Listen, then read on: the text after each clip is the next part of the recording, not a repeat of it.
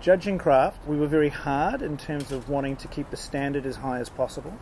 And I think that was very much something we discussed before we started about uh, the level of um, work, how it had to be really surprising and original, and we needed to be envious of it and wish we'd done it ourselves.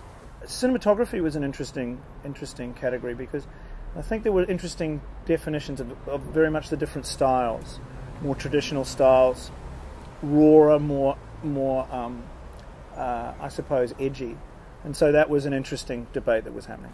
There were some pieces we were looking at. We were going, look, it's all about vision, all about music, and sometimes we found that uh, there would be issues where you felt an ad was relying heavily on one thing, and ultimately that would compromise what uh, what the result was. You could start to see some of the issues that have been coming up, particularly with budgets, and that on some of the more ambitious projects that have still got are challenged by budgets, you're starting to feel that there is some compromise starting to be seen.